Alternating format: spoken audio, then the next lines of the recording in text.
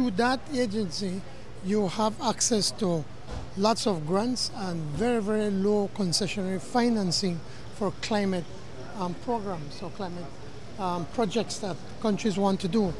Unfortunately, Belize, the United Nations look at Belize as an island state, but the World Bank doesn't.